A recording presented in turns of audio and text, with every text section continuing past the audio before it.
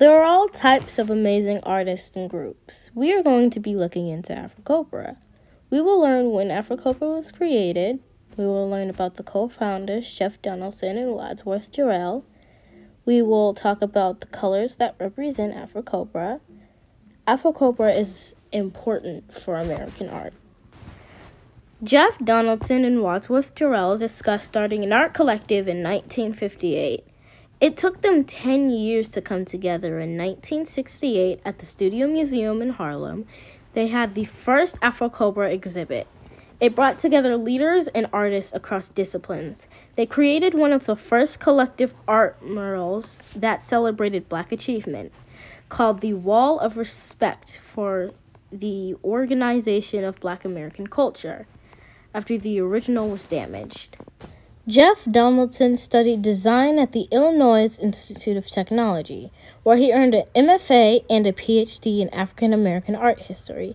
He wrote AfriCobra's manifesto. He also helped develop the Fine Arts Department at Howard University.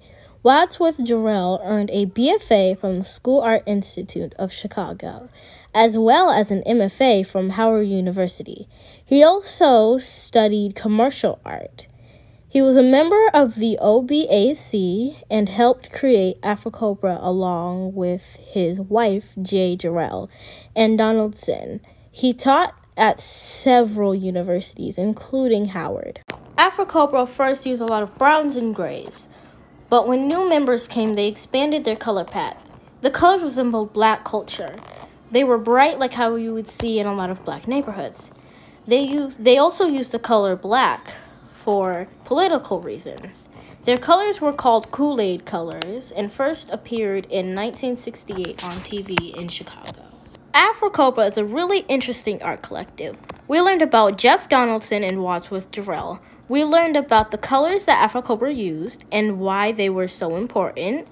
AfriCobra continues to be an important collective to Black history. So you had some teachers that were in AfriCobra?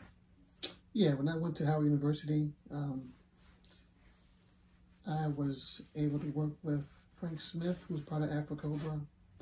At the time, Jeff Donaldson was the... The co-founder? He was co-founder, but he was a dean at Howard also in the fine arts department. I was a painting major. And so I took a color, color theory class with Frank Smith and the painting two class with Frank Smith. And um, he taught me a lot about the importance of using your art to advance the black culture. So we weren't just, just painting pictures just to paint pictures, but we were painting pictures that had a message. He said that we would we should use bright, bold colors. And also that our paintings should be bigger than a TV so that we not we are not competing with a TV. Do you have any work that's inspired by it, or? Uh, pretty much all my work was inspired. Uh, this T-shirt, well, this sweater I have on right now, um, which was taken from a piece of my painting that I created, is influenced by AfriCobra. The use of color, the movement, it makes your eyes not staying in one particular place, but your eye keeps moving around. Um, how to balance your painting so that your eyes are not just stuck in one particular place. Uh, this piece here is influenced by the use of colors, the bright bold colors, um, the line work used to move your eye around the particular face structure, the placement of the different lines keep your eyes moving and make the image kind of vibrate.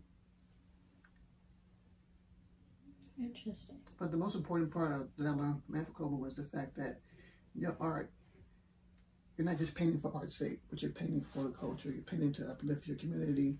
You're painting the importance of different figures in your community who have helped uplift your community. Also, the fact of the matter, um, using the bright colors to keep the viewer interested in what's going on. Interesting. Thank you.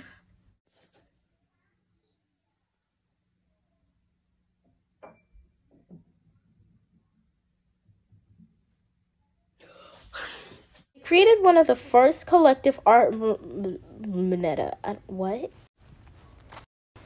Jeff Donaldson and Wadsworth Jarrell discussed starting an art collective in 1958. It took them 10 years to come together.